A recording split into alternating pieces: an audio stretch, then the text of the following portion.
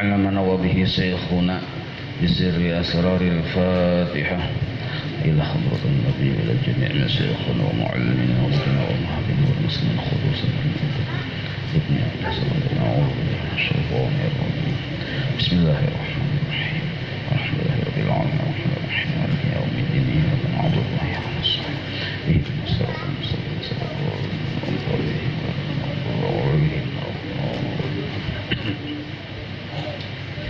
أعوذ بالله من الشيطان الرجيم. بسم الله الرحمن الرحيم. الحمد لله رب العالمين. اللهم صل وسلم وبارك على سيد السادات قطب البداية والنهايات. خليفة الله في خزين الأرض والسماوات وعلى آله وصحبه ما دامت السادات والقادات. صلاة تفتح لنا بها أبواب الخيرات والسعادات في دار الدنيا وفي دار المعاد. وبارك لنا بها في عمرنا وبرزقنا وفي أولادنا. وعلى إخواننا من المؤمنين والمؤمنات والمسلمين والمسلمات أينما كانوا في جميع الجهاد والبلاد. وتنجينا بها وإياهم من جميع الأهوال والآفات ومن شر الحياة وشر الممات يوالي الحسنة وقاضي الحاجات قال المصنف رحمه الله ونفعنا به وبجميع علومه في الدارين آمين kesimpulan yang ketiga lah jadi kita bila tuntung kesimpulan tamat berganti kitab kita kesimpulan yang ketiga fa'alal abdi ayyusallima nafsahu ila maulahu wa ya'lama anna al-khirata lahu fi jami'i ma bihi yatawallahu wa in khalafa dhalika muradahu wa qad yakunu al-man'u wa ta'akhkhuru liman fahima 'anillahi ta'ala dhalika. Fala yay'asul 'abdu fala yay'asul 'abdu min fadlillahi ta'ala idza ra'a man'an aw ta'khiran bi du'aihi. Wa qad yakunu ta'khiru dhalika ila al-akhirati khairan lahu. Di sini pengarang menjelaskan kepada kita bahwa ada sebuah pandangan hati yang apabila pandangan hati itu tertutup maka disebut kabur panjanak narnya tapi bila pandangan hati ini terbuka maka kawat dibadahkan orang itu tarang panjanak. Jadi pandangan hati yang salah akibat kada memahami situasi lalu salah diisi pandangan hati maka panjanak pun kabur. Tapi bila inya paham dan mengerti hasil dari belajar lalu berisi pandangan hati yang bujur maka panjanak ini pun tarang. Nah panjanak tarang ini macam-macam tingkatannya. Ada panjanak tarang bagi mubtadi permulaan orang yang hendak menuju ridha Allah ada panjanak tarang bagi orang yang di pertengahan perjalanan. Ada panjanak tarang bagi orang yang sudah wasil. Yang sudah minal arifin. Jadi ada tiga panjanak. Nah kesalahan di akhir zaman ini orang mudil kaya pamandiran model kaya orang arifin nang kaya wasil padahal berisi pandangan pertama pun belum lagi jelas tarangnya masih kabur panjanak nah ini supaya kita mengerti mana tarang panjanak yang pemulaan yang harus kita baisi bagi orang yang hendak menuju ridha Allah di dalam hidup ini. Akibat kita kada belajar lah maka kita ini ditipu oleh sebab. Tertipu oleh sebab. Kitanya yang tertipu sebabnya kada menipu. Kitanya yang tertipu. Gara-gara kita kada belajar atau belajar juga cuma kada paham-paham. Kada menghayati lalu tertipu dengan sabab. Padahal sabab itu kada manipu karena tertipu dengan sabab hatinya ini tak ikuti sabab tak kacak lawan sabab takut kehilangan sabab tak cintai sabab Nah, yang kita kada kawa berlepas dari sebab memang sudah Allah menghendaki nang kaya itu yaitu urusan rajaki. Urusan usaha. Nah, usaha apa pun narannya itu disebut sabab narannya. Nah maka bagi orang kada belajar tentang Allah, kada pinandu tentang sifat-sifat Allah, kada mengertinya, makanya tak ikuti sabab, yaitu misal sabab usaha, tak kacak, tak cintai, takut kehilangan sabab. Misalnya usaha tadi tak cintai sabab takutan kehilangan usaha tadi, tak cintai usaha, mempertahankan usaha mati-matian. Bahkan model kayak tertipu lawan usaha tadi. Karena pandangannya ini melihat hanya sebatas mata dahir. Mata hatinya tadi kabur panjana. Lalu kada melihat yang sebujurannya apa fungsi sabab. Lalu inya itu terperdaya oleh kejahilannya seorang. Nah, kadang melihat akan hakikat sabab yang sebujur-bujurnya inilah yang disebut kabur panjanak narangnya. Akibat apa? Kada paham. Kada paham. Lalu hidupnya mulai bangun guring sampai guring yang dipikirkannya supaya kayak apa caranya supaya aku hari ini banyak besi duit. Kayak apa daganganku supaya payu itu aja yang dipikirkannya. Maka memang kita tuh memang kayak itu. Dasarnya kita nih bila kita nih kada pengetahuan yang kayak itu pang sudah pemikiran kita. Bila ada di kampung tuh orang sugih dipadahkan sukses. Bila ada di kampung tuh orang kaya raya dipadahkan sukses. Padahal karun gin panyugihnya kada ada yang sugih pada karun masuk neraka bila ada menjabat uh jadi anu jadi anu. Dipadahkan sukses. Bintang 4 bintang 3 bintang 7 bintang matahari macam-macam bintang dipadahkan sukses. Padahal Fir'aun raja. Masuk neraka. Nah, ada yang berpengaruh dipadahkan sukses. Berwibawa dipadahkan sukses. Abu Jahal itu raja berpengaruh. Masuk neraka ini contohnya lah Nah, jadi yang naran sukses itu menjadi bujur-bujur hamba Allah. Itu yang sukses. Napakah gawiannya? Napakah gawiannya? Kada dipandang gawian di dunia ini. Kalau Allah Taala mewajibkan kita itu harus sugih, kada ada. Mewajibkan gawian kita harus ini, harus yang berpangkat, kada. Harus yang berjualan ini, kada ada. Kenapa nang kaya itu? Karena Allah sugih jar Allah taala aku yang menjamin buah nikam. Makhluk ini aku ciptakan dan aku sediakan sebuah penjaminan. Nah, namun kada paham nang kaya ini lalu kita berusaha siang malam tumbang tumbalik. Ya kalau nah akhirnya di hati kita ini tak cintai bukti tak cintai tak ikat bukti tak ikat kada kau melapas pengajian ada kada kau hadir kada kau melapas usaha.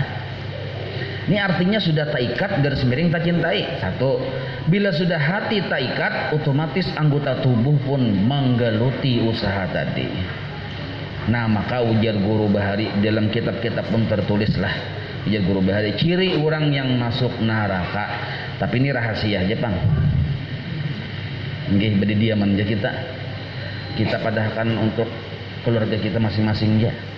Ciri orang yang masuk neraka pas sekalinya kita seorang kayak itu ya maksudnya. sekalinya kita nang kayak itu. Berarti kan jadi rahasia nih. Nah, ciri orang yang cagar masuk neraka. Inya segala sesuatu itu muyassarun lima khuliqalahu. Segala sesuatu dimudahkan menuju takdirnya. Takdir masuk neraka dimudahkan oleh Allah menggawi sebab-sebab masuk neraka. Takdir masuk surga dimudahkan oleh Allah menggawi sabab-sabab masuk surga. Muyasyarun lima khuliqalahu. Nah dua di hati kita terikat dengan sebab mencintai sebab takut kehilangan sebab bahkan sebab ini menjadi Tuhannya satu apa contoh sebab usaha yang kedua anggota tubuh kita ini terkadakawa malapas lawan sebab itu. Ujar bahasa orang wahini menggaluti terus manyasahi terus sabab buka kahulu empat juga kahulu kita. Sabab kahilir empat juga kahilir. Contohnya supaya mudah dipaham nah kita nih berdagang berusaha lah ya kalau maka kita nih jahil. Gawian kita tuh berdagang ya hari-hari terus di hati kita tak ikuti sudah lawan dagangan ini tak cintai. Bukti tak cintai kada kau melapas sehari aja jah aku menukar berdagang jah aku makan aku jah. Nah sampai bocap nang kayak itu. Mun aku sehari kada berdagang tutup toko ini. Nih kayak panak biniku sampai bocap nang kayak itu. Nangka kaya dagangan itu memberinya rezeki nah ini berbahaya benar nih Nangka kaya usaha yang nyegeluti itu yang mendatangkan rezeki untuk dirinya. Ada kalau ada kalau ada berdagang mungkin ya kayak apa sanggup sekolah ini itu segala macam ujar. Nah ini ucapan orang-orang yang jahil. Apabila hanya sebatas mulut, no problem. Kalau kupina itu keluar dari atau suara hati yang keluar di muntung, nah ini menandakan kejahilan kita. Nah, dua cirinya. Hati sudah tak cintai lawan usaha karena usaha ini bang yang menyamani. Yang kelihatan oleh mata zahir ini bahwa usaha yang menghasilkan duit. Dan awak ini kadang kawa meninggalkan usaha. Lalu menuntut ilmu kadang kawa. Contohnya dulu menuntut ilmu dulu. Karena ilmu ini pemulaan. Nah itu ciri lah Nah, tap ciri bahwa orang itu berisi panjana kabur. Panjana kabur.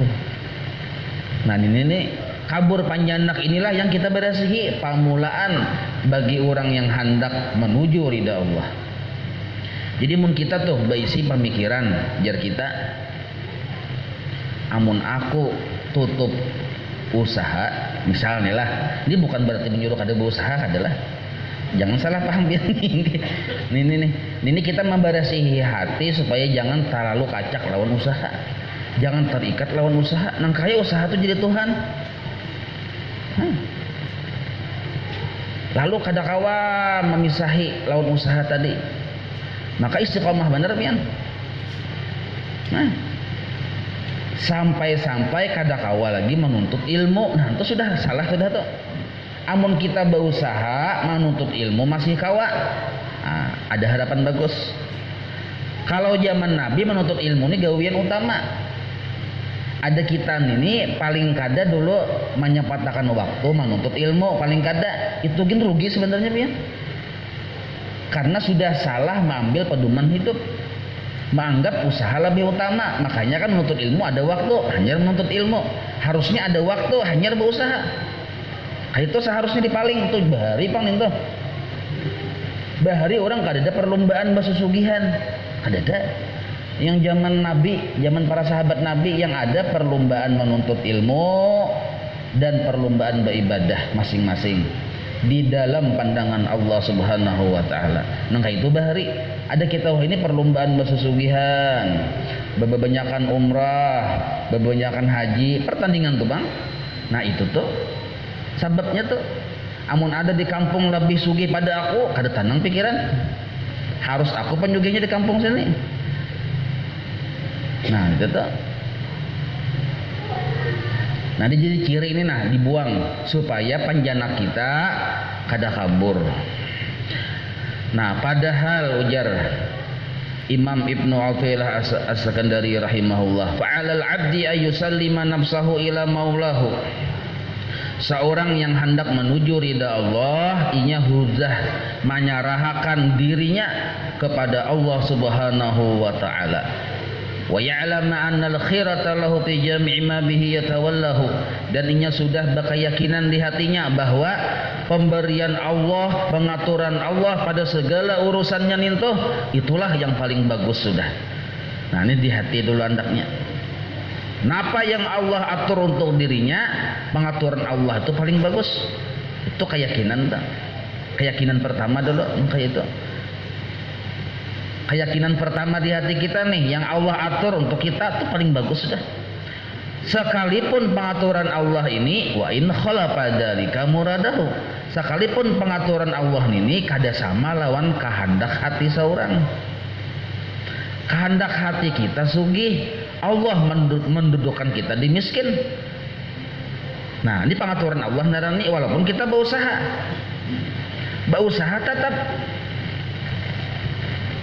Tapi Allah mendudukkan kita di miskin. Sedangkan kehendak hati kita sugih. Nah kita yang hendak selamat hati bakayakinan miskin ini baik sudah lawan aku tapi bukan berarti kada berusaha lah tetap berusaha ini cuma miskin ini nah baik sudah bagi aku. Jangan sampai kita beranggapan salah miskin ini kada baik. Kada aja kada aja eh buktinya menghadangi sugih ya tuh amun kita menghadangi lawan sugih sambil berusaha itu narannya hamba sugih. Menghadangi lawan sugih. Padahal berusaha itu jangan ada yang dihadangi jangan menghadangi sugih apa yang dihadangi? Rahmatnya Allah. Kebaikannya Allah. Karena kita berusaha ini disuruh oleh Allah.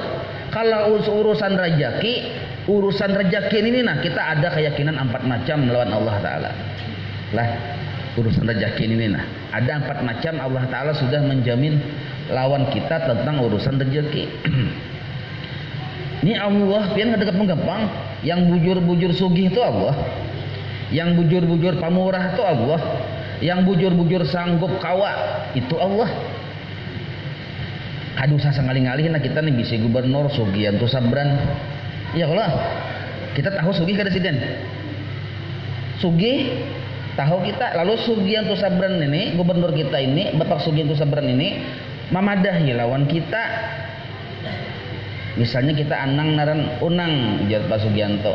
Ikam kada usah berusaha ikam hari-hari berdiam di rumah koja napa yang kau suruh? Gawi. Keperluan nikam dan anak bini ikam ku jamin. Keperluan nikam dan anak bini ikam ku jamin. Fasilitas ikam ku jamin. Tugas ikam apa yang kau tentukan kau suruh itu jangan kau jangan memikirkan apalagi berusaha jangan memikirkan tentang urusan rezeki karena aku sudah menjamin. Ini ujar Pak Sufyan Sabran misal lah. Misal. Ya Allah contoh aja mas supaya mudah paham gitu. Nah lalu si Anang ini tahu Pak Sugianto ini orang sugih dan orangnya pamurah dan bila bapandir bujur. Ada yang mengaradau maka si Anang ini bila begawi di rumah si gubernur ini dalam keadaan hati tanang kada lagi berpikir urusan rezeki karena sudah dijamin oleh gubernur Nah, tanangnya hati ini nah. Tanangnya hati nah inilah yang disebut rohah namanya atau tarang panjanak level pertama. Kita ini kada beisi tarang panjanak level pertama. Kada beisi lagi. Hari-hari yang kita pikirkan urusan rezeki. Ya kada. Ulun pang dulu nih yang kita pikirkan ini urusan rezeki berarti belum tarang lagi panjanak artinya kada bujur-bujur percaya lawan gubernur padahal tuh gubernur aja bocap otomatis kita yang si Anang ini yakin pian karena kita melihat secara kasat mata si Sugi dan pemurah dan kada mungkin berdusta. Itu gubernur kok ada bisa aja berdusta. Narnya gini manusia ya kada? Nah apalagi nih Allah? Inna Allah la yukhliful mi'ad. Allah kadang menyalahi janji. Dan yang bujur-bujur sugih lain gubernur Allah yang bujur-bujur sugih yang bujur-bujur pemurah Allah. Nah sidin ini menjanjikan lawan kita empat Nah, ini nah empat ini bila ada insya Allah mudah-mudahan kita yakin. Satu dulu, Allah Ta'ala bila mau-maulah makhluknya, Allah sediakan rajakinya. Pasti sudah. Jadi kadada kita itu kadada berisi rejaki kadada. Bah kada berjaki aku hari ini jah kadada. Ada rejaki kita tuh. Allah sudah menyediakan. Itu satu dah. Ini keyakinan kita nih. Kalau kita menganggap aku kada berjaki hari ini, kada ada hari ini, itu kada ada peluang Allah Taala. Karena Allah sudah berjanji setiap makhluk ini ada rezekinya. Satu tuh. Rezeki kita tuh jangan hanya kita anggap duit kada. Duit satu triliun, tapi stroke bian bulu mata aja berada kata kawa. Rezeki mana yang kau dustakan? Jauh bahasa orang ini nih. Nah, yang mana yang naran rezeki? Kita nih salah persepsi, dikira rezeki itu duit. Kan duit aja bang. Selamat dari musibah, rezeki juga. Nah, iman masih ada di dada, rezeki juga. Selamat dari manggawi maksiat, rezeki juga. Apalagi nih khusus rezeki pamakan. Jangan takutan kita. Satu dulu. Allah menjamin bahwa rezeki kita itu ada. Satu. Yang kedua, Allah menjamin maulah akan sabab sehingga rezeki itu sampai ke kita. Sebabnya macam-macam ada Allah ulahkan orang ini dapat rezeki sabab beternak ada orang ini diulahkan Allah Ta'ala dapat rezeki sabab berdagang lain-lain kada sama ada juga sabab dapat bini yang baru tapi sugih ada juga lain kisah lagi ini umur 99 tahun para meninggal sudah maka sugih misal ya Allah terserah Allah Ta'ala mau ulahkan sabab Nah, dua sudah. Ini keyakinan nih. Mungkin kita kada percaya tentang jaminan Allah ini, fakafara, bahasa hadat bahasa kita. Nah, hati-hati. Dua sudah. Ini yang ketiga. Nah, Allah menjamin kada mati, kada habis umur seseorang kecuali rezeki yang Allah tulis itu habis. Ditulis oleh Allah si Haji Anang rezekinya mulai lahir sampai mati rezekinya ini nah 600 triliun amun belum habis inya terima 600 triliun ada mati bin habis sudah 600 triliun diterimanya habis juga umurnya. Nah, jadi mempaham nangka ini kita kan usah berabut jangan berabut cakap berabut bekajal menuntut ilmu aja. Berabut marabut warisan nabi. Jangan berebut nah tiga kada sudah tiga leh. Yang terakhir empat ini nah bila Allah sudah menulis rezeki itu yang ditentukan oleh Allah untuk kita kada batah salah julung? Nah kada batah apa huruf? Astagfirullahaladzim tak salah. Tuhan menjolong nih harusnya aku pengen dapat ninto aja. Kada. Desa tulisannya seorang dapat dapat nini yang dapat ninto orang tulisannya sudah Kadusah kita bertiwas-tiwasan menyalahkan siapa-siapa kadusah. Yang ini dasar rezekiku selesai. Kita beranggapan yang naran rezeki itu duit yang miliaran dalam utak besi. Belum rezeki lagi nih tuh. kita beranggapan yang di halaman berandak mobil banyak itu rezeki, belum rezeki. Yang naran rezeki itu yang sudah masuk ke parut jadi darah daging dibawa beribadah itulah rezeki nah yang harus paham kita nih. Amun masih ke dalam parut saja ini ujar guru bahari lah. Belum tentu rezeki bisa aja muntah. Rezeki samut ya kada? Nah. Ibrahim bin Adham ini kisah lah. Sidin wali Allah Ta'ala hendak menguji Allah Sidin tinggalkan kampung kada berbekal masuk ke dalam hutan belantara. Yang kira-kira kada ada dilalui manusia kada berbekal pian. Bah sampai di hutan masuk ke dalam gua pulang kada manusia berapa sidin seorangan. Menjauhi dari sebab-sebab datangnya rezeki sidin jauhi. Nah, ini orang wali, jangan diumpatin ini jangan diumpati panele, nggih. Kita lain makomnya, jangan diumpati. Nah, berapa sidin sambil beribadah, berzikir semampu sidin. Nah, kalaparan sidin, santai aja sidin. Ya sidin, Allah la yukhliful mi'ad. Rezeki itu Allah sudah menjamin dan Allah maulahkan sebab rezeki datang. Dan bila rezeki itu ditentukan oleh Allah, kada mau tak huruf. Sekalinya ada orang lalu rumbungan musafir.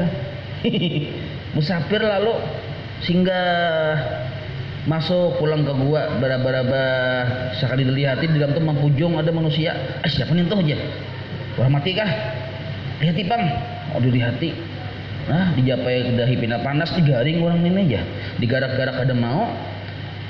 Ini mati kah? Apakah ini kada mau? Nyatai pun orang guringnya digarak bangun dia mau pura-pura guring dasar ngalih di garak. Pura-pura guring tuh. Garak aja kadang kadang bangun-bangun. Nih sih ini pura-pura guring. Amun orang guring garak aja pian. Lakas aja bangun. Lagi kebakaran aja oh yang bicawat gin buka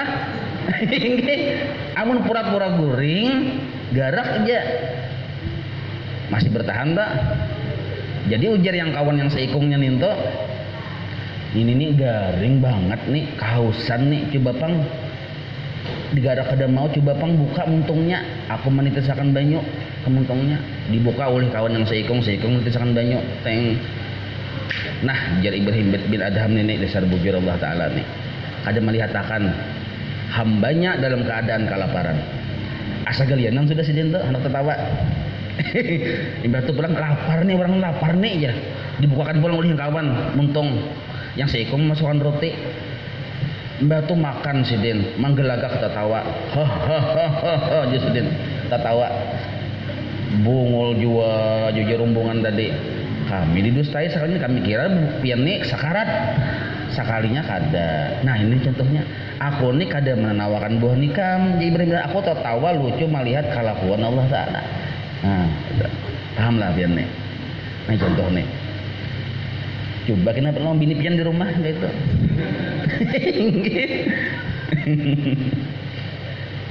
nah empat macam jaminan Allah kepada kita dan ini bertanda tangan pian. Bertanda tangan. Yang menjanji jaminan ini Allah. Lalu kenapa jaminan Allah ini model kayak kada tapi lancar? Kenapa Inya Pak Sugianto Sabran melihat Haji Anang bina memberi muar. Pahamlah pian.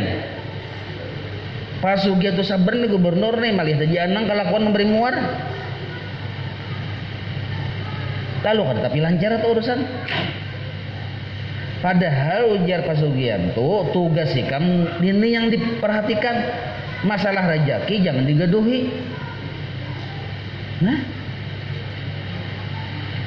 Nah, Allah menjamin empat macam tadi sudah. Nah, nah, lalu kenapa kita berusaha? Kenapa kita berdoa padahal sudah dijamin? Tujuannya hanya satu, menjunjung perintah Allah. Bila bujur kita berusaha, dapat pahala dari Allah.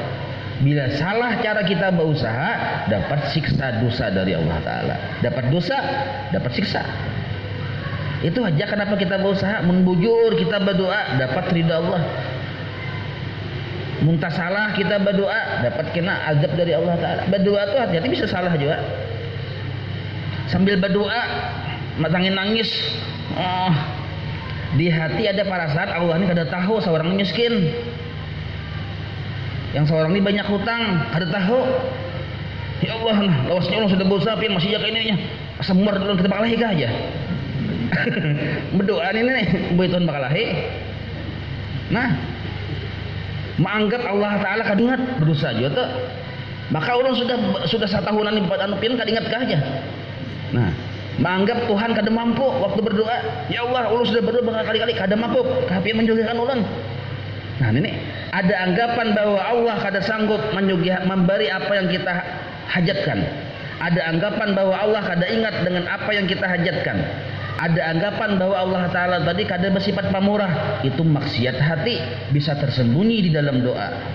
Amun sudah berdoa nangka itu maksiat daratnya nah ada maksiat yang halus benar. Tadi kan maksiat terang-terangan sudah sampai mencabut karis.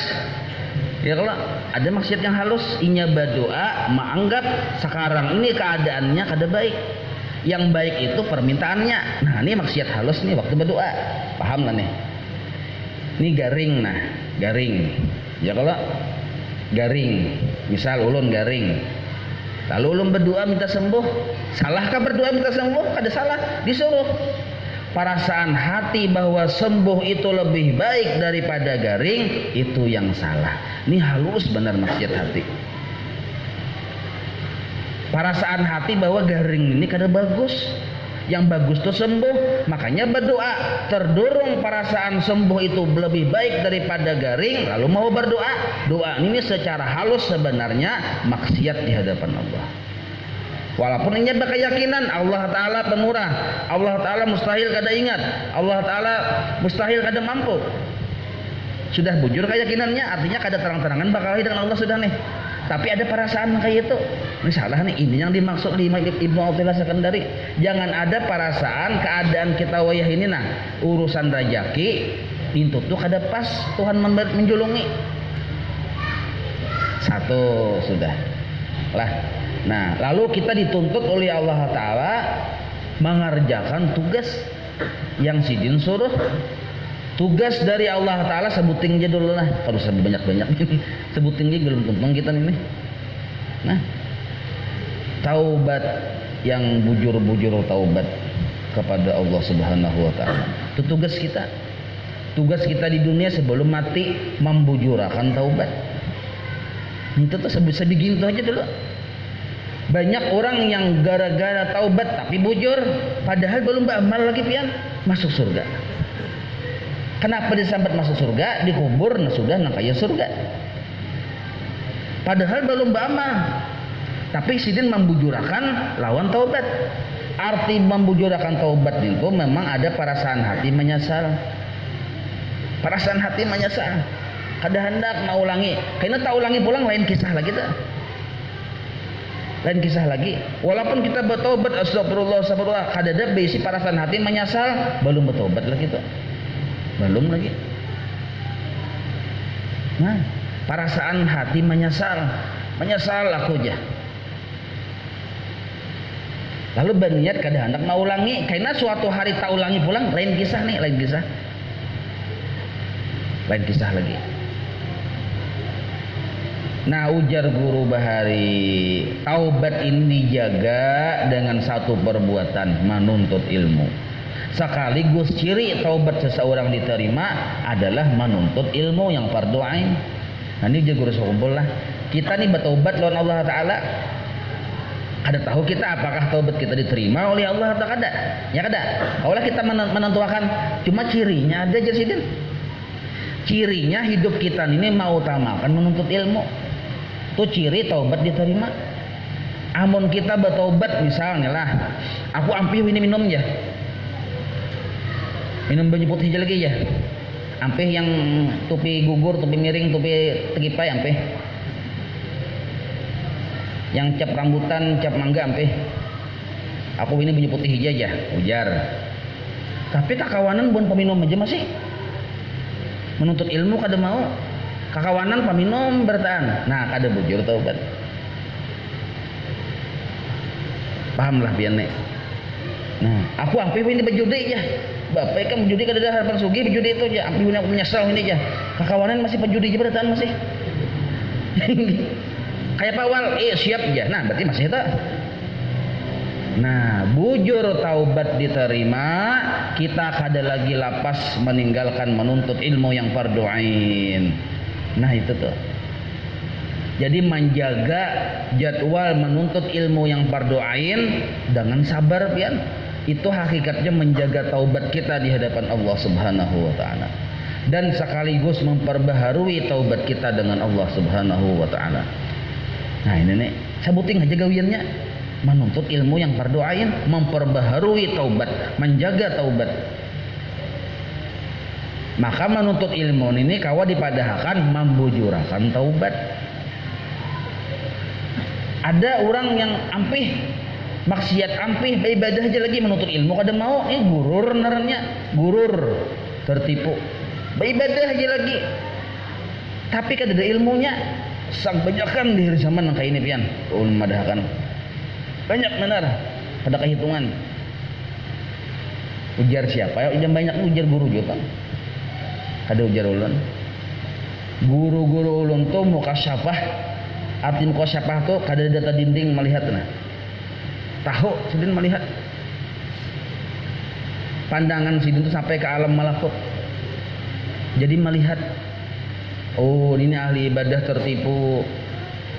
Di mana tertipunya? Kada mau menuntut ilmu. Situ tertipunya kita. Dikira bujur padahal salah. Amas kata hika amas kata hika aja. Kacaknya ay nah tahi juga aja. Nah itu. Itu tuh salahnya di situ pinamani mengacak sih tahi kan dikira amas.